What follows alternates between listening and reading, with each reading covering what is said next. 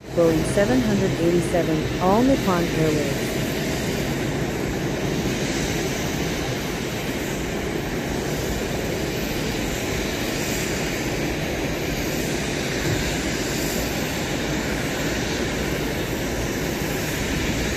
Airplane jointly developed by the United States and Japan.